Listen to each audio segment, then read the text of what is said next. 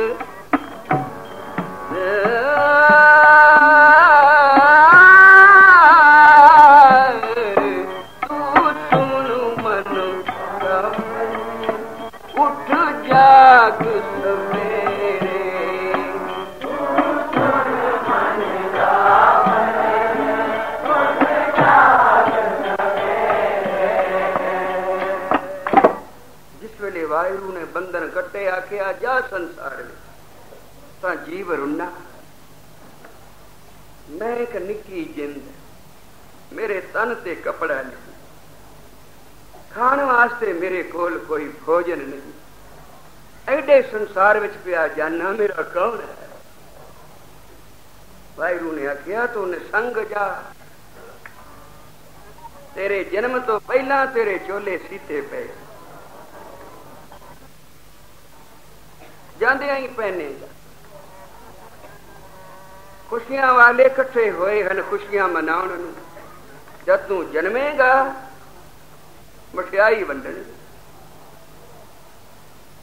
ਖੁਸ਼ੀਆਂ ਮਨਾਣਗੇ।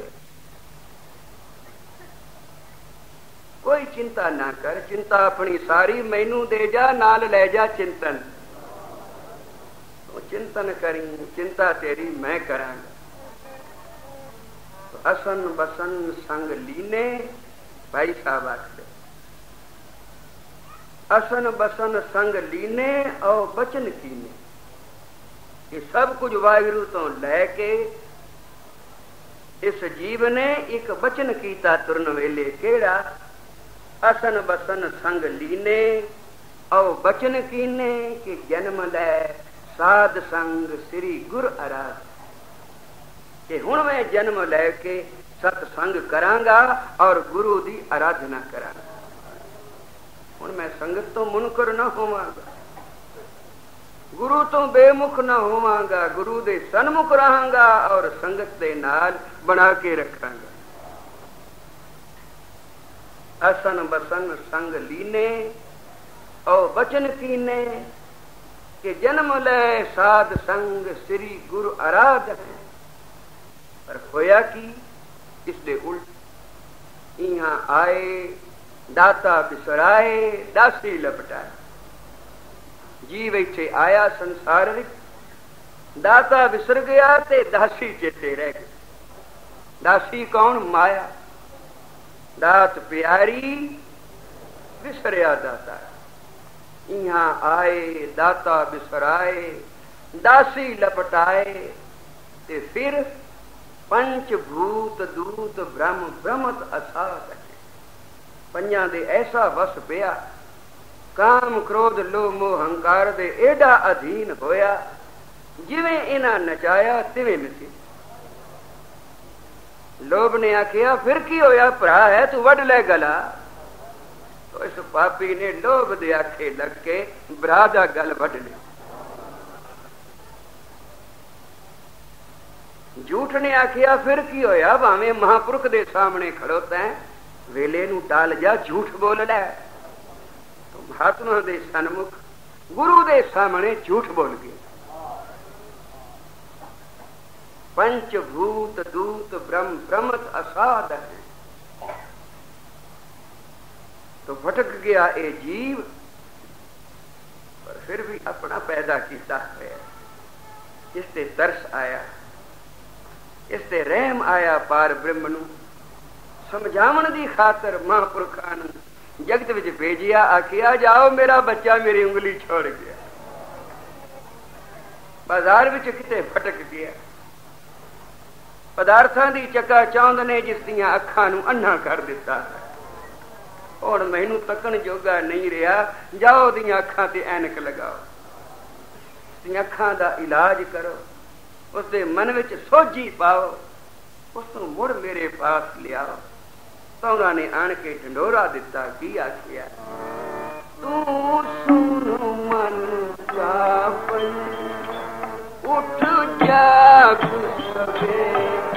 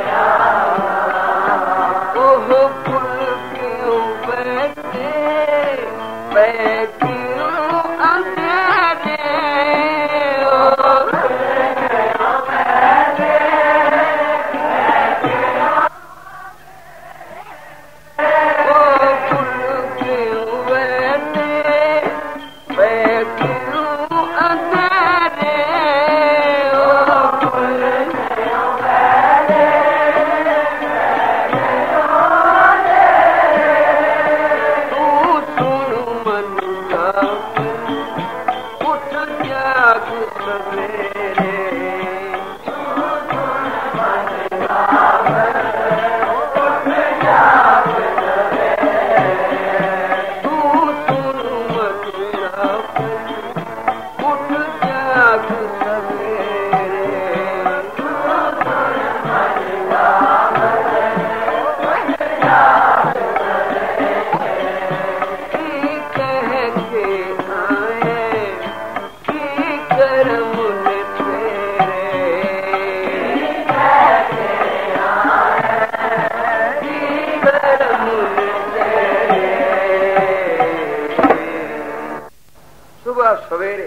ਚੌਥੇ ਪੈਰ ਸੁਬਾ ਕੇ। ਸੁਰਤਿਆਂ ਉਪਜਿਆ ਚਾਓ ਚੌਥੇ ਪੈਰ ਸੁਬਾਹ ਕੇ ਸੁਰਤਿਆਂ ਉਪਜਿਆ ਚਾਓ ਤਿੰਨਾਂ ਦਰਿਆਵਾਂ ਸਿਓ ਦੋਸਤੀ। ਮਨ, ਮੁਖ, ਸੱਚਾ ਨਾ ਮਨ ਤੇ ਮੁਖ ਦੋਹਾਂ ਮਨ ਵੀ ਜਪੇ ਤੇ ਮੁਖ ਵੀ ਜਪੇ, ਸੱਚਾ ਨਾਮ। ਦਰਿਆਵਾਂ ਨਾਲ ਹੋਵੇ ਦੋਸਤੀ, ਅੰਮ੍ਰਿਤ ਵੇਲੇ ਜਾਗਦਿਆਂ ਸਭ ਤੋਂ ਪਹਿਲਾਂ ਚੇਤਾ ਪਾਣੀ ਦਾ। ਬਈ ਇਸ਼ਨਾਨ ਕਰਨਾ। ਕਿਉਂਕਿ ਜਿਸ ਵੇਲੇ ਇਹ ਜੀਵ ਮਾਤਾ ਦੇ ਪੇਟ ਵਿੱਚ ਪੁੱਠਾ ਲਟਕ ਰਿਹਾ ਸੀ ਤੇ ਪੁਕਾਰਾਂ ਕਰਦਾ ਸੀ हे ਵਾਹਿਗੁਰੂ, ਮੈਨੂੰ ਇਸ ਨਰਕ ਚੋਂ ਕੱਢ। ਤੇ ਸਾਈਂ ਨੇ ਆਖਿਆ, ਕੋਈ ਨਹੀਂ ਜਿਤਨੀ ਵਾਰ ਤੇਰੇ ਤੇ ਇਤਬਾਰ ਕੀਤਾ ਤੂੰ ਬੇਇਤਬਾਰਾ ਹੀ ਨਿਕਲਿਆ ਹੁਣ ਇਸ ਨਰਕ ਵਿੱਚ ਪਿਆ ਸੜ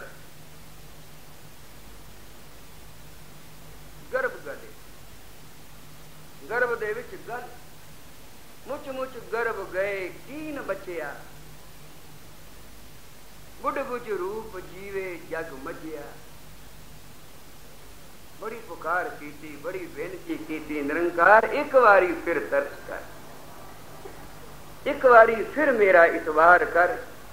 ਮੇਰੀ ਬੰਦ ਖਲਾਸ ਕਰ, ਮੈਨੂੰ ਮਾਤ ਲੋਕ ਵਿੱਚ ਭੇਜ, ਮੈਂ ਤੇਰਾ ਨਾਮ ਜਪਾਂ।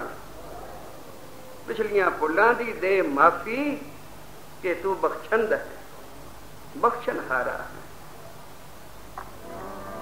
ਤੈਨੂੰ ਬਖਸ਼ਣ ਹਾਰਾ ਆਖਦੇ ਦਾਤਾ ਬਖਸ਼ ਲੈ